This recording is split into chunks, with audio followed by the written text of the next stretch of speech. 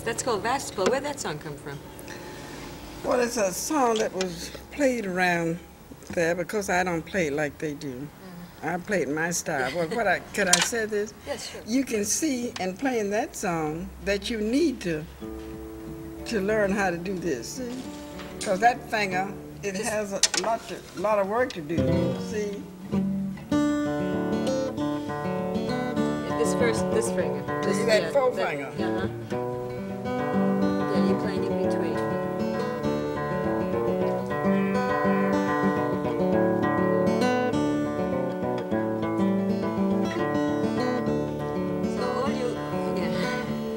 So all you left-handed people out there who have been writing me mad letters when I tell you that you should reverse your strings, uh, maybe you should just do what Elizabeth does and turn it around. It's very good.